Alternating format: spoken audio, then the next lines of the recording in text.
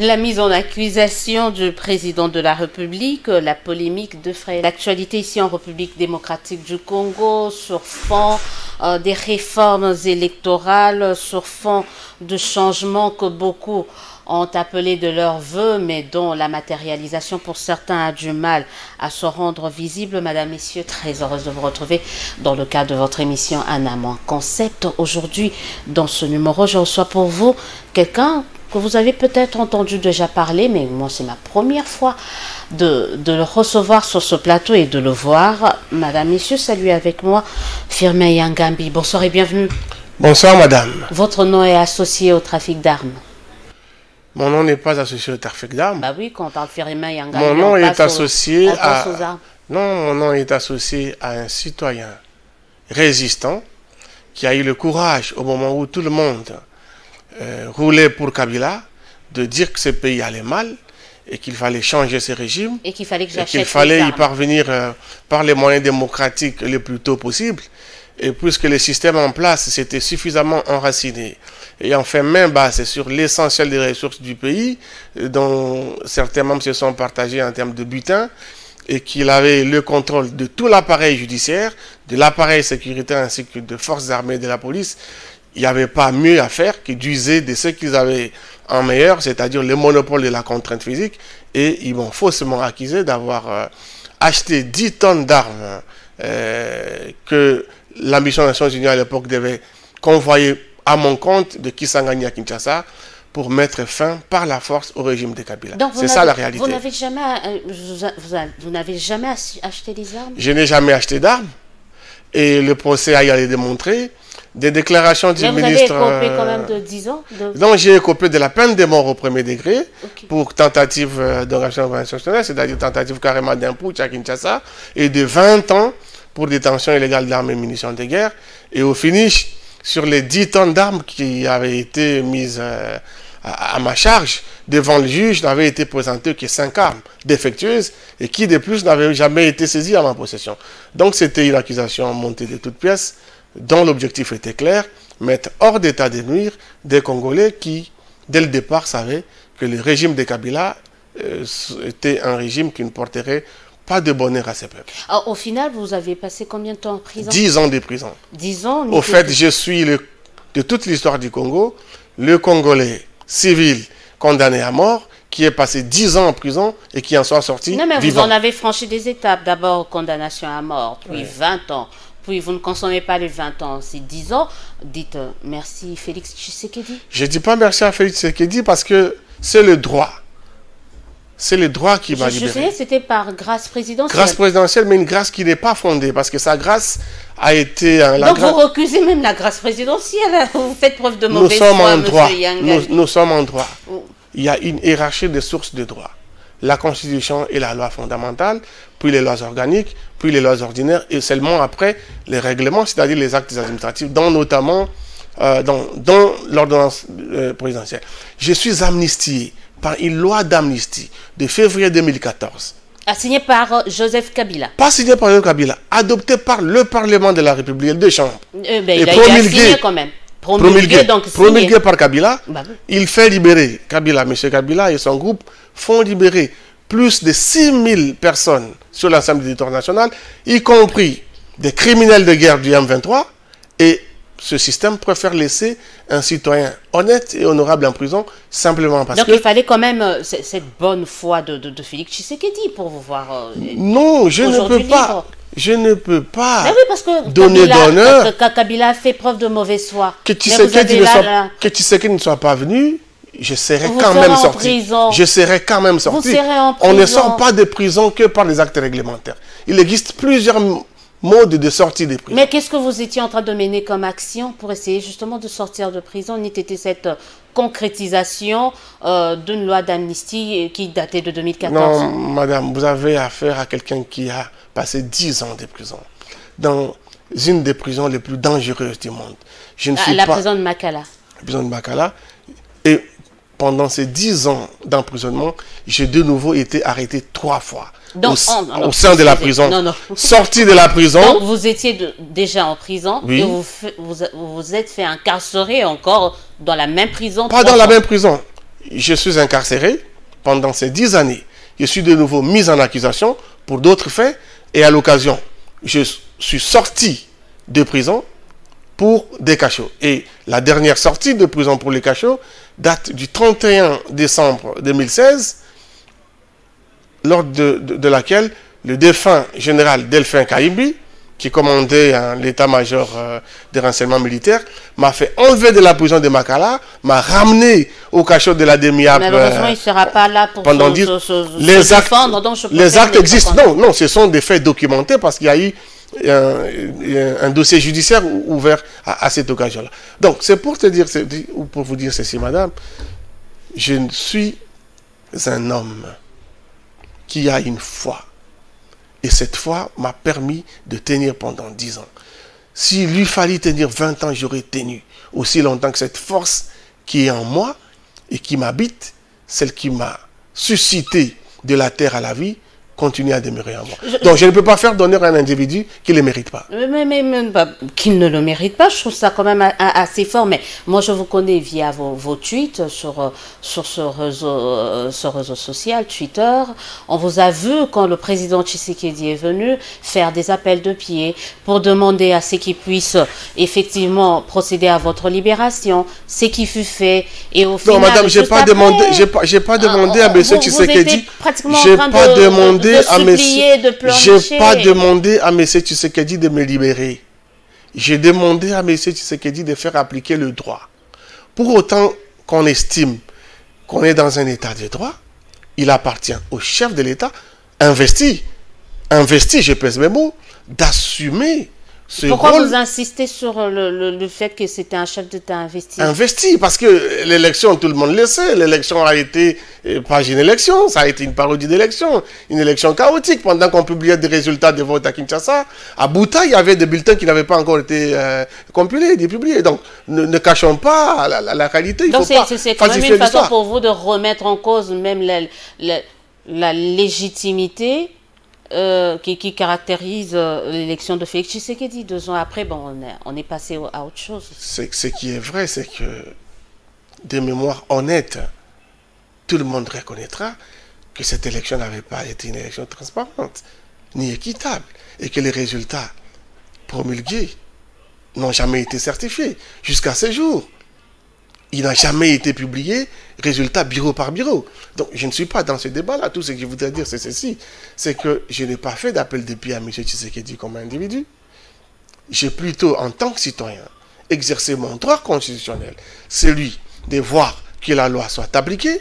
Je suis amitié depuis 2014. Un individu et son groupe, je nomme M. Kabila, estime que je ne peux pas sortir par leur arbitraire. Il y a un nouveau président investi qui arrive. Et je me dis, pour autant qu'il est investi et qu'il est censé exercer les pouvoirs de l'État, il est tout à fait logique et juridique que je puisse le mettre devant ses responsabilités. et malheureusement, au lieu qu'il puisse ordonner au ministre de la Justice de me libérer par, en exécution de l'ordre d'amnistie, il a préféré signer une ordonnance présidentielle. Et cette ordonnance présidentielle, du point de vue du droit, n'est pas valide. Mais pourquoi, vous êtes dehors? Parce que, non, du, du point de vue du droit. Parce que la grâce présidentielle. Vous décriez quelque chose dont vous êtes bénéficiaire. Il faut rester logique. Vous êtes Non. La logique aurait voulu quand vous, restiez en prison pour dénoncer cela. Écoutez, madame. C'est ça aussi la logique. Si, tu penses que tu peux me retourner en prison, tu me retournes en prison. Il n'y a pas de problème. Seulement. Non, on parle de la, logique. je ne suis pas du genre. Je ne oh, suis vous pas du genre. Pas non, plus. non, je ne me fâche pas. Oh. Mais je ne suis pas du genre à courber mon rationnel face aux sentiments. La loi est juridiquement supérieure à une ordonnance. Une ordonnance présidentielle, une ordonnance de grâce, signifie que la condamnation existe et qu'il y a une remise partielle ou totale de l'exécution de la condamnation. Or, la loi d'amnistie efface la condamnation. Donc, il n'y a pas de grâce possible là où il n'y a pas de condamnation. C'est ça la vérité des droits. Vous savez ce qu'on reproche? Parce que là, je sais que vous êtes président de la dynamique Changer le Congo. C'est qu'on ne sait pas si c'est un parti politique ou c'est une organisation, on va en parler. D'aucuns ont de plus en plus peur de cette incohérence euh, des intellectuels congolais? Qui dénoncent une chose et qui font le contraire. vous en êtes un cas typique, Monsieur Firmin Yangami. Vous dénoncez la violation de la loi, mais vous jouissez quand même de cette violation, de ça. C'est incohérent. Posez la C'est question. illogique. Posez la question à tous vos interlocuteurs en politique. Ils vous diront que le profil de Maître Yangambi est un des profils les plus rares que l'on puisse trouver dans ces pays. Imaginez, j'ai présidé la délégation de la société civile à la commission de la commission défense et sécurité aux assises de San City. Monsieur l'abbé Maloumalou, le regretté, était mon adjoint. À l'issue de ces euh, négociations, tous les participants ont accédé à une fonction politique. Je suis le seul à n'avoir pas pris la moindre fonction. Des deux, j'ai eu en mon temps mes entrées auprès de M. Kabila. À l'époque où le Rwanda et l'Ouganda occupaient l'Est du Congo. J'ai eu des offres pour passer ministre, directeur de cabinet. Je n'ai jamais mordu à la maison. Je suis resté correct. De trois, j'ai passé dix ans de prison. Après avoir été condamné à mort. Bruno Chibala a été en prison pour quelques semaines. Ça suffit pour qu'il se fasse, euh, euh, excusez-moi les termes, mais racolé par le régime et être nommé Premier ministre. Bref, en termes de cohérence, vous n'en trouverez pas plus que moi Non, dans ces c'est pays. par rapport à la logique de, Il y de a ce que vous avez dit. Il y a Il y une a loi d'amnistie Oui. qui n'a pas été mise en application. Oui. Il y a une grâce présidentielle qui vient en violation de cette loi d'amnistie. Vous décriez cela, mais vous en êtes bénéficiaire. Madame, il, il- il faut que... C'est c'est- c'est il juste faut- euh, non, par rapport à ça. Non, il faut comprendre les raisonnements du droit. Ok. Vous comprenez? C'est ceci. Il n'y a pas de grâce présidentielle lorsqu'il n'y a pas de peine. C'est-à-dire qu'il n'y a pas de condamnation. Or, la loi d'amnistie efface la condamnation. Mm. Donc, il n'y a pas de grâce possible pour un amnistie. Mais vous êtes Mais dehors non. par quel mécanisme C'est ce que moi je veux savoir. Est-ce mécan- par l'application de la loi d'amnistie ou c'est par, la, par grâce présidentielle? Mais qu'est-ce que vous voulez que je dise? Moi, je suis amnistié. Je suis amnistié. Je ne suis pas ingracié. En droit, je suis amnistié. C'est ça. Et dans le fait, vous êtes euh, Non, pas- bénéficiaire non. de la grâce Dans, dans le fait, Oui. oui. Dans le fait, Donc, on, donc, on, on retient ceci un peu pour clore le débat. En droit, vous êtes un amnistié, Voilà. mais dans le fait, vous êtes bénéficiaire de la grâce présidentielle de, de, de l'actuel, c'est aussi simple que cela. Donc, voilà. Donc, tout est. Donc c'est cohérent. Bon, les, les téléspectateurs vont, vont juger. Non, c'est pas eux, c'est ça le droit. C'est c'est cohérent. C'est cohérent. Alors, je disais tout à l'heure, vous êtes dynamique, vous êtes coordonnateur, président, Président. président de la dynamique Changer ce Congo. Il y a en 2018, euh, vers septembre, ceux qui étaient à Genève on avait dit, certains avaient dit, le changement c'est Fayolo. Vous êtes euh, dans cette logique-là? Ce syndicat des politiciens qui s'est réuni à Genève défendait sa cause commune. Malheureusement, de ces mêmes syndicats, il y en a qui ont fait défection. Et chaque jour qui passe, à la faveur des circonstances et du temps, on se rend bien compte que, encore une fois, c'était cette logique politicienne qui consiste à, s'organiser pour aller à la quête ou à la conquête du pouvoir. Une fois le pouvoir euh, dans la poche, se répartir le gâteau au détriment de l'écrasante partie, euh, ma- majorité de, de la population. Je ne peux pas comprendre que dans une société, en dérive comme la nôtre, on pense que le changement soit un individu. C'est pas du tout ma logique. Je changements, quelqu'un- c'est qui? Le changement, c'est C'est déjà. quoi? Non, Non, on commence par qui? Le changement, c'est qui? Le changement ne peut être un individu. Je regrette beaucoup. Si Mais il peut incarner le changement, l'individu. je suis plutôt d'idée et d'esprit que dans un État, c'est le citoyen qui est le principal acteur.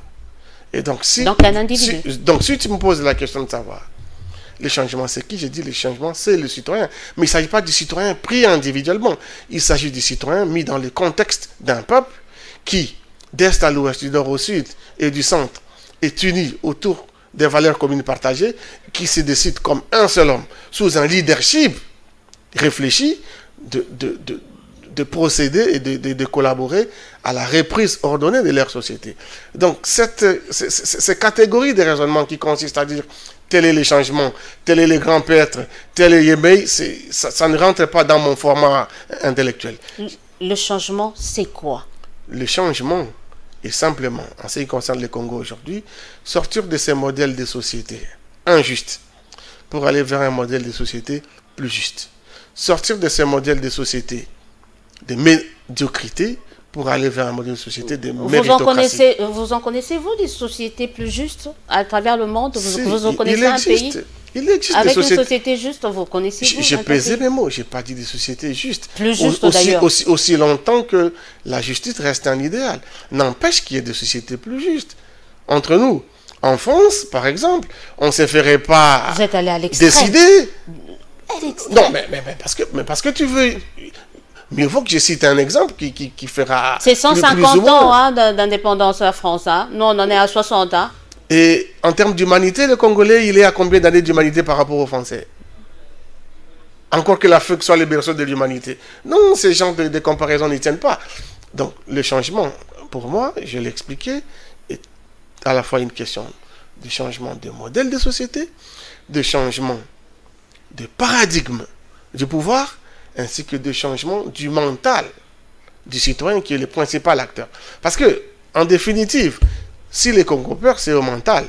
C'est au mental que le Congo a toujours perdu. Et donc, si nous voulons commencer à gagner, c'est au mental qu'il faut gagner. C'est autant vrai que des individus comme nous sont considérés euh, un peu comme marginaux simplement parce que bah, nous, restons, nous restons réfléchis. non, on ne se victimise pas. On reste rigoureux parce qu'on ne peut pas à la fois soutenir une chose et son contraire. Donc pour moi, c'est tout simplement absurde que l'on dise d'un individu qu'il est le changement. Je pense plutôt qu'il faut en toute humilité se dire quel est le problème, vers où nous voulons aller et ensemble mettre en place un modèle qui nous permettent de sortir de cette misère. Vous pensez qu'un travail, parce que ça fait deux ans qu'on a un nouvel leadership, est-ce que vous pensez qu'il y a un travail qui est en train de, de se faire dans ce sens ici, dans ce pays? Changement de paradigme, changer les mentalités. Euh, il y a, il y a, un travail qui, qui, qui, se fait en bien et qui, qui, est en train de porter des fruits dans ce sens? Je, je dirais qu'il n'y a pas de changement de paradigme, qu'il n'y a pas de changement de mentalité Simplement parce que, si vous remarquez de près, ceux qui étaient pauvres hier, qui allaient à pied, ou plus ou moins comme nous, en moins de six mois, sont devenus des millionnaires. Il n'y a pas de changement de mentalité. Il n'y a pas de changement de paradigme. Une voiture ne fait pas millionnaire. Non, je ne parle, je, ne hein. parle pas, je ne parle pas d'une voiture achetée. Je parle par exemple de 15 millions de dollars des rétrocommissions. Je parle au moins de cette somme-là. C'est illégal. Parce que juriste, vous savez que c'était légal. Non, la rétrocommission n'est pas légale. La rétrocommission peut tomber soit sous le coup de la concussion, soit sous le coup du détournement des deniers publics, soit sous le coup du trafic d'influence. Donc, c'est ça le problème. La rétrocommission n'est pas légale. Mais je ne m'arrête pas à ça. C'est juste pour illustrer mes propos, selon lesquels il n'y a pas de changement des paradigmes non plus. Parce que, encore une fois, c'est toujours la volonté du pouvoir absolu. Regardez ce qui se passe aujourd'hui au sein, dans, dans le jeu institutionnel. On sent bien parce que lorsqu'on dit qu'il y a un nouvel leadership, peut-être que vous voudrez faire allusion au nouveau chef de l'État investi, mais il n'est pas la seule institution. Il y a euh, ce Parlement composé de deux chambres qui n'a pas été euh, renouvelé. En tout cas, euh, aux trois quarts, ce sont les mêmes qui, sont, qui sont restés il y a les assemblées provinciales, il y a les gouvernements provinciaux. Donc, bref, il n'y a pas de changement. Donc, vous êtes de ceux-là qui, qui, pensent que les trois quarts qui constituent euh, les institutions du pays euh, ne font pas assez pour permettre euh, un quart de, de, mieux accomplir sa mission. Donc, Parlement, les deux chambres de Parlement réunies et les assemblées provinciales font de leur mieux en fait pour torpiller l'action du chef de l'État Oh non, je ne dirais pas les choses de cette manière-là. Je dirais plutôt ceci, que d'une part, nous avons une majorité, et à laquelle d'ailleurs appartient le chef de l'État actuel. Hein. Il y a une majorité qui n'a pas une vision claire de ce qu'elle voudrait faire du, pouvoir qu'elle prétend avoir reçu du peuple, d'une part, et de l'autre part, une majorité parlementaire, et de l'autre part, un exécutif qui n'a pas de programme, qui n'a pas de vision qui n'a pas de politique. Il y a Parce que un programme, vous ne suivez pas l'actualité au niveau de l'Assemblée nationale. Le Premier ministre a été investi sur base d'un programme. Il a été vous investi, parlez de, quel Il a été investi sur base d'un programme sur papier. Aujourd'hui, quels sont les objectifs Ça commence par un papier et puis. Quels, sont, quels sont les objectifs structurels du gouvernement actuel? Mais lisez le programme. Lisez le programme de Ilunga Ilunkamba. Il y a, je crois, 15 piliers. Prenez la peine de lire. Non, c'est facile d'écrire Mais je dis aujourd'hui, Difficile de un, lire, pro- un programme structurel. Il on dirait aussi que les sauts de moutons qui sont en train d'être construits participent à un programme. Tout à fait d'accord. On dirait qui aussi- ensuite voilà. On dirait que la gratuité de l'enseignement fait partie d'un programme, d'accord. Mais allez à Banalia, dans les territoires de Banalia, à 128 km de Kisangani, il y a des femmes et des hommes qui sont des nouvelles unités dans l'enseignement euh, primaire, qui n'ont plus touché de salaire du tout. Allez dans la partie euh, des, des cataractes dans le, le- le- Congo central. Vous, vous trouverez des écoles qui n'ont pas de banc, qui, qui, qui- n'ont pas de pupitre, qui, n'ont pas de tableau. Bref, il ne faut pas donner l'impression On qu'on est en train de on a mécanisé plus de 80 000 nouvelles unités. Monsieur Yangabi fait preuve de bonne foi. On vient de construire quand même des écoles. Quelque chose, il y a des choses qui Ou- sont en train d'être faites. Mais, Voilà madame, pourquoi je vous demande de madame, lire. Suivez non, le bilan madame, de, du gouvernement Ilunga Ilukamba. Vous, voulez me dire qu'il existe un programme de santé qui couvre les soins de santé primaires dans ces pays de manière efficiente? Il n'existe pas. Ça va être lancé. Mais ça va être lancé, bien- financé par qui? Par les bailleurs des fonds étrangers?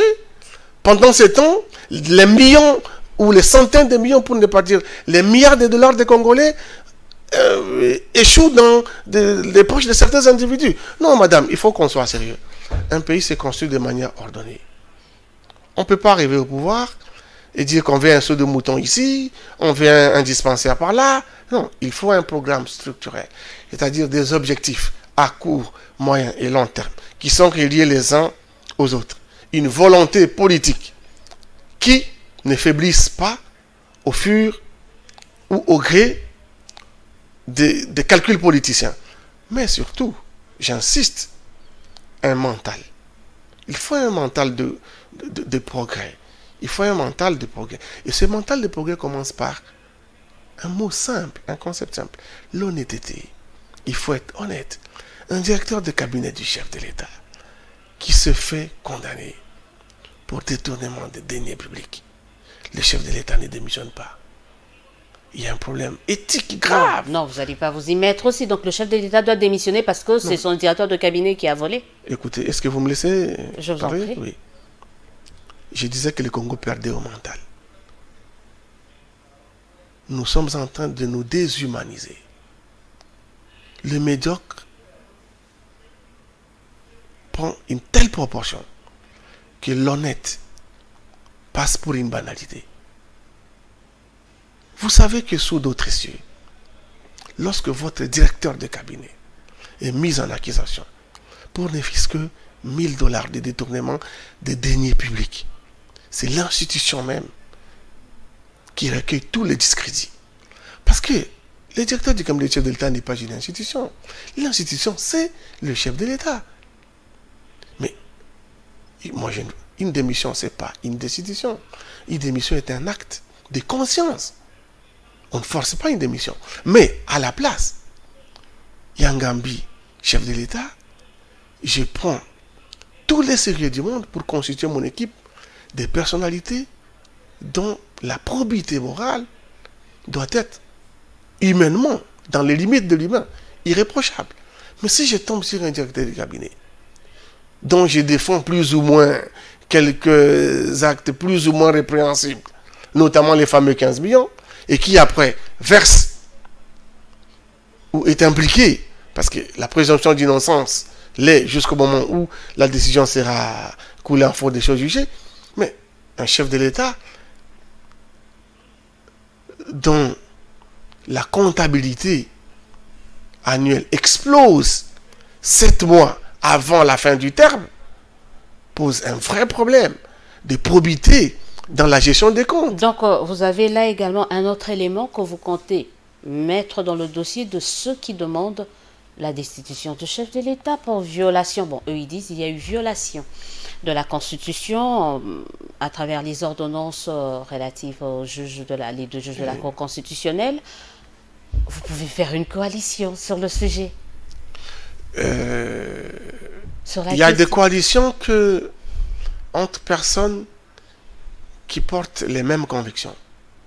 Les coalitions de conjoncture du genre euh, Tshisekedi, Kamere, Bemba, Fayulu, Yangambi, euh, Katumbi, j'ai- Fayulu et Non. Dongo et pour destituer Tshisekedi non, je ne fais pas partie de la coalition. Non, je dis vous pouvez. Non. Bah, Parce que euh, vous venez là d'ajouter un élément qui, pour, C'est qui, ça, selon vous, peut contribuer bon, à la démission, voire à la destitution, diront certains. La décision du chef de l'État est réglementée par la Constitution.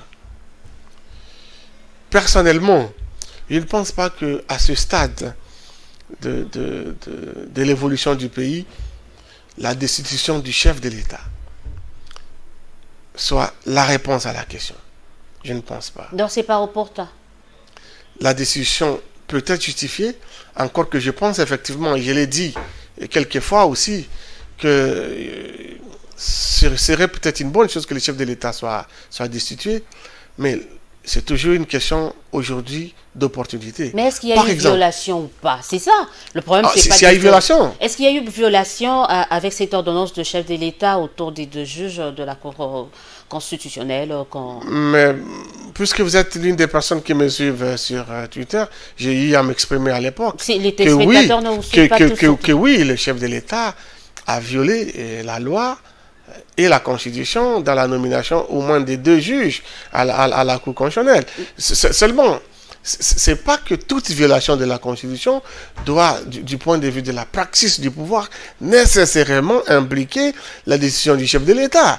Parce que si vous destituez le Non, chef on de est, l'État... on est à l'article 165, vous êtes avocat. Oui. Que dit la loi? Il suffit pas maintenant de commencer à nuancer. Si vous estimez qu'il y a eu, selon vous, violation de la loi, euh, de la Constitution, mais que dit la loi quand il y a violation? Je ne parle, je, je ne suis pas ministère public hein, pour Vous accuser le chef de l'État. Mais- mais vous avez dit qu'il y a eu porter- violation. Ou, ou porter, non, je, non, je ne suis pas ministère public pour porter l'accusation devant la Cour constitutionnelle.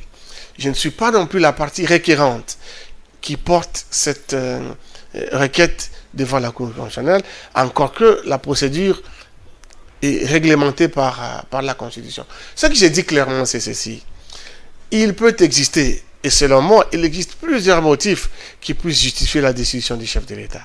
Seulement, la décision du chef de l'État n'est pas la solution à la débâcle générale de ce pays. La solution passe par le retour, premièrement, à une vision de société, deuxièmement, à un paradigme de pouvoir, et troisièmement, à un leadership d'intelligence et de probité. Et enfin, le socle, c'est le mental du citoyen. Parce que c'est très important, on ne le dit pas beaucoup, le mental du citoyen. Ce matin, les miliciens Kadeco- euh, Codeco sont entrés dans la Oui. ville de Bounia, en province de Litourie. Au vu aussi de tout le Au monde. vu aussi Eux, de tout le Ils n'ont monde. pas été inquiétés. Donc Est-ce que le citoyen congolais a au moins, c'est au moins intéressé à l'information Puisque lorsqu'on dit que le citoyen est le souverain primaire, c'est maintenant la faute aux journalistes, aux médias. non, c'est pas la faute aux médias, c'est pas la faute. Non, c'est la faute. J'assume la faute du citoyen. Parce que même lorsqu'une élection est fraudée, qui a le pouvoir d'empêcher la fraude électorale? C'est le citoyen. Ben, ils ont essayé, vous avez vu, mais Non, au final. ils- euh, l'ont ils l'ont pas fait parce il l'avaient fait, On a vu certains veiller là. euh, ils l'ont- pas fait assez. Ils l'ont pas fait assez parce que au Soudan, pour une crise de pain, ils l'ont fait. En Algérie, ils l'ont fait. Au Maroc, ils l'ont fait. C'est-à-dire qu'il y a un vrai problème de conscience citoyenne. Et c'est cela la mission principale de la dynamique Changer ce Congo. C'est-à-dire, au lieu de penser que c'est Fayoulou qui doit prendre la parole en lieu et place du Congolais, que c'est Moïse qui doit le faire, Katumbi, ou que c'est Kamere, ou que c'est Kabila, le citoyen doit être déjà son propre leader. Le citoyen doit être en mesure d'exercer son propre processus cognitif avec ses propres catégories de raisonnement pour se faire sa propre vérité de la réalité. On va parler de citoyens, deux questions et on va terminer parce qu'on me fait signe qu'on n'a plus le temps. Citoyens, on a vu vendredi les Philimides descendre dans la rue, faire un sit-in pour demander l'expulsion de, de, de l'ambassadeur du Rwanda en RDC. C'est- de ça dont vous faites allusion Par exemple, les actions des jeunes du mouvement citoyen sont des actions très salutaires pour ce pays. Dans- Parce que pour dire vrai, pour dire vrai, si nous n'avions pas ces jeunes du mouvement citoyen, le Congo serait encore plus enfoncé que maintenant. Est-ce qu'on a besoin de cette guerre Rwanda-RDC maintenant là? Demander l'expulsion, exiger cela, c'est carrément euh, remettre en froid les relations diplomatiques entre non, les deux je vais pays. être très sincère à- à- avec vous, madame. Il y a un gros contentieux entre le Rwanda et l'Ouganda. Et, et, et donc le Rwanda, l'Ouganda d'une part, et dans une certaine mesure le, le Burundi et la RDC.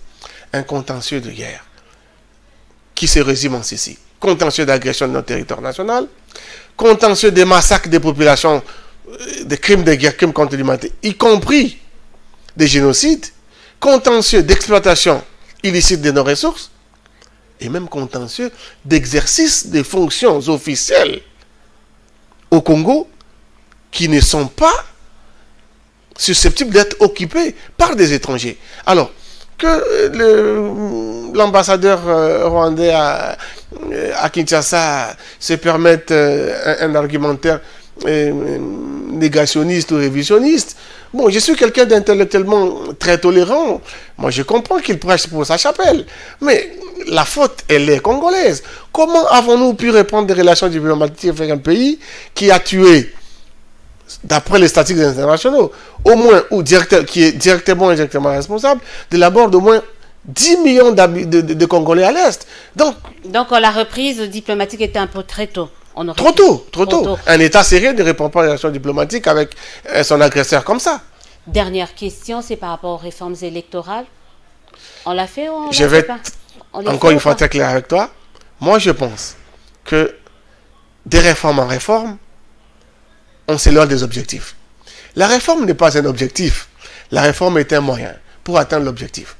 C'est pas aujourd'hui, à mi-chemin presque, que l'on doit aller aux réformes. Pour moi, ce cycle électoral, aussi chaotique soit-il, quelque part finit par contribuer tant soit peu à la reprise de notre société par les citoyens. Il on, faut voit, insister. on voit déjà 2023. On va recommencer avec les mêmes tares ou on change déjà bien avant? Pour moi, si les réformes électorales peuvent réussir et ne pas empêcher la tenue d'élections en 2023, tant mieux. Mais Donc si vous, ces ne réformes, pas, vous ne voulez pas des élections en 2023 je dis ceci, si ces réformes électorales peuvent réussir et en même temps permettre la tenue d'élections en 2023, d'accord. Mais si ces réformes sont de nature à repousser les calendriers électoraux, je ne suis pas d'accord. Qu'on aille aux élections. Nous avons eu des élections trois fois dans les mêmes contextes. Il n'y a pas de problème. Qu'on y aille. Que l'on remette les, tables- les- les cartes sur la table et qu'une fois de, De plus, catastrophe en catastrophe, continue. Bien au contraire, On- on- bien au contraire. Les réformes ne garantissent rien. Ce qui garantit pour moi quelque chose, ce sont les élections. Il faut insister sur ces processus. Parce que nul ne les met du temps et des circonstances. Une élection, on ne sait jamais qui la gagne et comment il la gagne. Et moi, je préfère prendre le risque d'aller aux élections que être complice du statu quo, un statu quo qui, de plus en plus, dessert les intérêts de notre peuple. Alors voilà, c'est pas seulement qu'on va se terminer. Vous avez déjà là un potentiel candidat aux élections de 2023. Reste à savoir si ça sera les législatives ou les, la présidentielle. On le Il n'y a saura. qu'un seul pouvoir au Congo qui puisse effectivement changer le cours de l'événement, c'est la présidente de la République. C'en est fini pour aujourd'hui. Merci beaucoup, madame. J'espère vous revoir très bientôt pour essayer de discuter notamment sur votre vision euh, en tant qu'une fois devenu président de la République. Qu'est-ce que vous comptez faire? Donc on, on va en parler en long en large, mais peut-être cette fois-ci on viendra à, à, à À Kisangani oui, oui. pour vraiment euh, palper. D'ailleurs, très bientôt, je crois que c'est une bonne idée. On viendra là-bas pour parler vraiment de ce qui se passe là-bas et parler de votre vision parce que c'est là où vous êtes bâtonnier. euh, Vous êtes bâtonnier au barreau de Kisangani. Merci, madame. Merci d'avoir été de nôtres. Merci Firmin Yangambi. Merci aux téléspectateurs. Vous étiez comme d'habitude nombreux à nous suivre. Continuez de nous, à nous appeler, à nous écrire pour vos réactions et suggestions et continuez à nous suivre sur nos différentes plateformes, les réseaux sociaux. On sera toujours là pour vous. En attendant, nous vous souhaitons de passer une excellente suite de programmes. On se dit au revoir et à très bientôt pour un nouveau numéro de votre magazine Un homme, un concept.